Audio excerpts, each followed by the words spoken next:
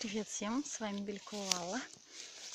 Сегодня воскресенье, хочу показать, как моя собака ест ягоды. Черныш мой ест чернику.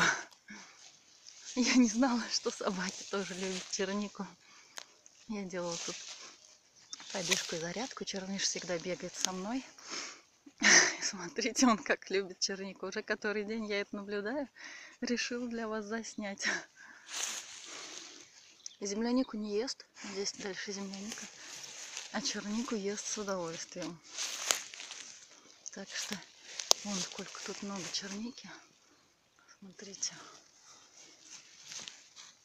С утра у меня завтрак из земляники и черники. Я бегаю по утрам. Вот такой лес у нас. А вот черниш ест вместе со мной ягоды. В планке сегодня стояла 3 минуты. Сейчас еще буду делать отжимания. Среди черники стояла в планке, отмахиваясь от комаров. Вот.